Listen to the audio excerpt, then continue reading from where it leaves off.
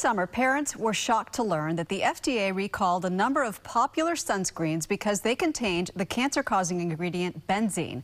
Pediatrician Dr. Ana-Maria Temple joins us now with how to protect ourselves and our families from benzene. Doctor, I, I, I could not believe it because these are very popular, uh, commonly used sunscreens, and I understand that no benzene, there is no level of benzene that is safe, correct?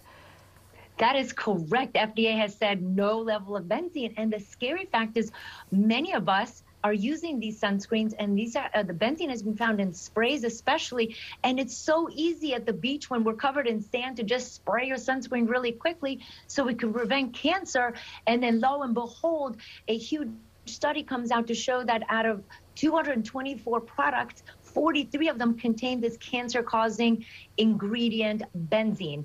Of note, benzene is not an ingredient in sunscreens, it is happens in the manufacturing process of sunscreens. Mm, okay, so besides not using these recalled sunscreens, how can we protect ourselves against it?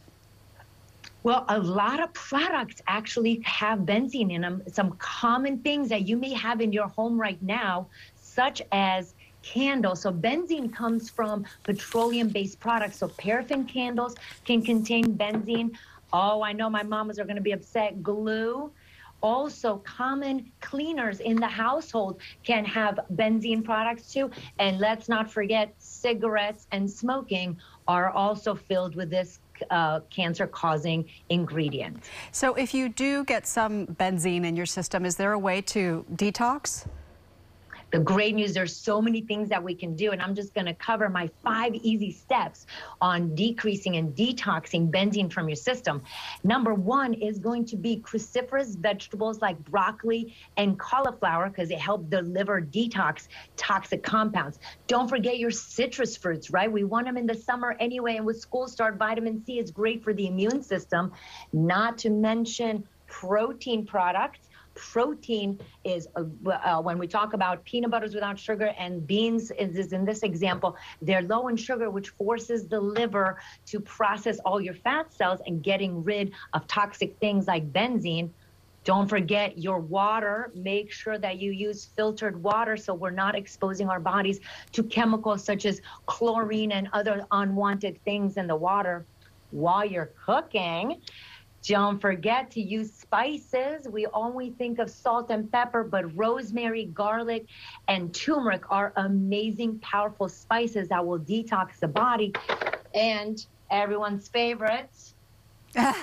Yay, the return of the poop. emoji. We've got to poop every single day.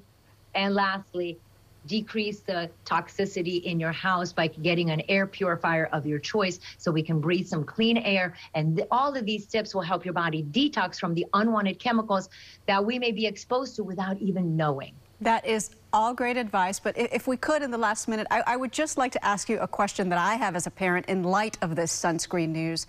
How do I choose the right sunscreen? Well, we're going to do some quick tips, some like really easy things. I did put on my Instagram page at Dr. Ana-Maria Temple a handy dandy guide on the four things that you want to avoid. But you're like, oh my gosh, how am I going to even spell these things? Okay. Well, we're going to focus on, see, the oxybenzone, octinoxate, homosalate, and nanoparticles. We want to avoid those. And you're like, oh my gosh, how am I going to remember this? Okay. All you need to look for in your sunscreen, look for zinc oxide and titanium dioxide. I also have provided you guys in my handy dandy book, The Rule of Five, on ways to choose the right sunscreen with the least toxic chemicals to make your life a little easier so we can raise healthy children in, unfortunately, this unhealthy world.